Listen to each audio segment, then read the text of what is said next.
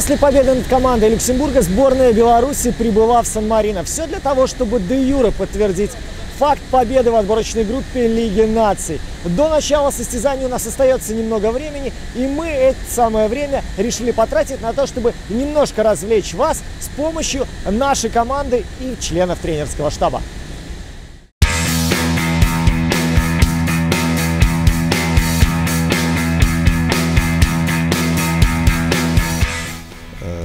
Когда играл сам э, в Якутии. Вот, э, летели мы с выезда в Алдан. Э, это уже было лето, начало июня. Вот, подлетаем к Алдану, а весь город и взлетно-посадочная покрыты снегом. Прилетаем, и нас разворачивают над аэропортом, и ближайший аэропорт в Нерюнгри. Прилетаем, садят самолет в Нерюнгри, и сутки мы на деревянных лавочках спали в аэропорту, и только через сутки, когда растаял э, в Алдане снег, вот э, нас, как говорится, привезли э, в город. Когда мы летели с партизаном футбольным клубом на игру, по-моему, в Черногорию, из э, Вильнюса, по-моему, вылет был, на самолете Ан-24 очень-очень старом, пропеллерном, у которого антенна от носа была натянута к хвосту. Вот. А со мной в компании таких же боязливых полетов был Артем Гончарик. Когда все расселись в самолете, удивленно осматривались, что это за антиквар. Артем сказал, ребята, не бойтесь, если что, этот самолет может спланировать. Ну, ребята резонно сказали, Артем, ты уже планировал или нет? Это была предыстория, потом мы попали на этом самолете в грозу. Я впервые в жизни видел, как рождается молния из облака. Вот, но, не, но неунывающие наши массажисты решили это дело отметить вместе со стюардессой единственной и пилотами. А что я у пилотов спросил, а как же можно вот они говорят, можно, бортпроводник, главное, чтобы трезво был. Ну, раз мы летели с Турции, это был Гродненский Неман, и так получилась пересадка в Стамбуле, что у нас э, на самолет не успело три футболиста. В итоге пришлось им целый день оставаться в Стамбуле, именно в аэропорту. Они там провели целый день, и на следующий, на следующие сутки только улетели. Поэтому всегда успевайте вовремя к своему самолету, лучше на полчаса раньше, чем на одну минуту позже.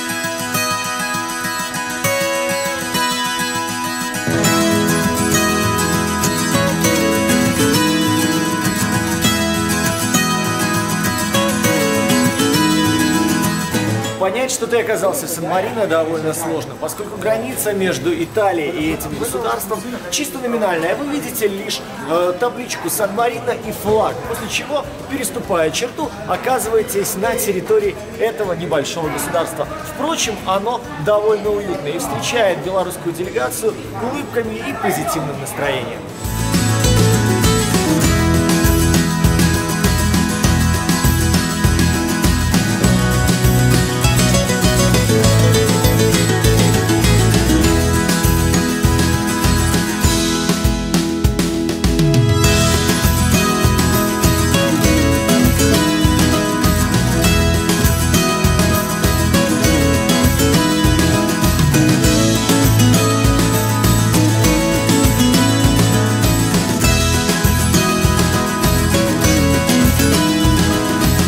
Стадион Сыровали в 2019 году станет одной из арен, которая примет финальную часть чемпионата Европы У-21. Поэтому здесь и поле, и все окружающие сооружения приведены в топ-готовность. Достаточно сказать, что на этом газоне пройдет всего лишь третий поединок э, в истории новейшего покрытия на стадионе.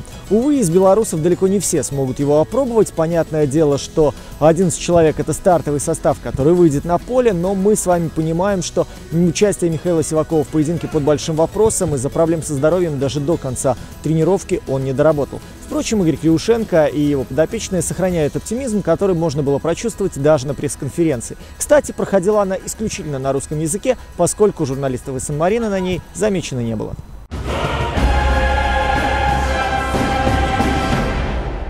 Для нас, наверное, завтра принципиально это добиться победы и сделать уверенный последний шаг. Вот это принципиально. Ну, остальное, естественно, пропускать никто не любит, мы не исключение, поэтому ну, то же самое. Чтобы побеждать, нужно забивать, поэтому будем стремиться завтра. Прежде всего, чтобы забить. Ну, настроение хорошее, позитивное, остался один шажочек, э, э, и этот шаг надо сделать красиво поэтому ребята очень мотивированы, недооценки соперника нет и не может быть, поэтому завтра с первых минут э, будем стараться идти в атаку и забивать. Это самое главное. И никакая усталость это не препятствие. Лучший бомбардир команды завтра будет в составе, чтобы его, так сказать, э, лучший бомбардир Лиги, Лиги нации вывести? За час 15 будет протокол, все. Короче, читай протокол.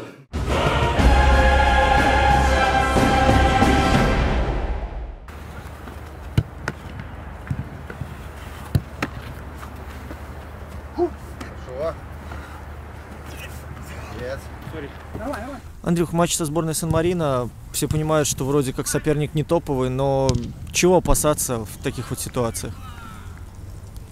Да, опасаться наверное, только самих себя надо опасаться в такой ситуации, потому что, ну, объективно, в таких играх все зависит только от себя. И если ты выйдешь на 100% отыграешь, то я думаю, что все нормально будет.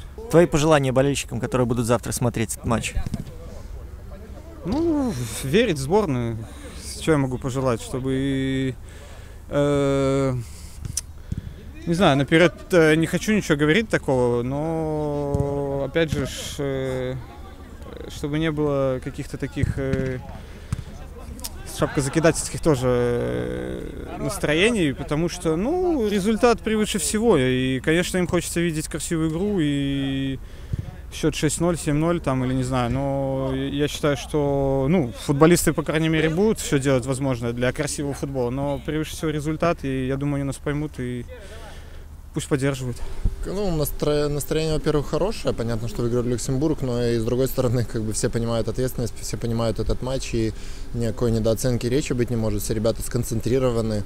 Э, не для того мы делали эту большую тяжелую работу на протяжении пяти матчей, и в частности в последней игре с Люксембургом, чтобы завтра допустить э, какую-то расслабленность, недооценку. И все понимают, что в футболе все бывает, все команды научились играть в футбол, но каждый из ребят верит друг в друга, верит в своего партнера. Каждый, кто выйдет на поле, я уверен, что выложится на все сто процентов, чтобы добиться нужного результата. Главное, как сказать, конечно, быстрый гол всегда положительно сказывается и придает уверенность, но не стоит самоцель, наверное, забыть быстрый гол.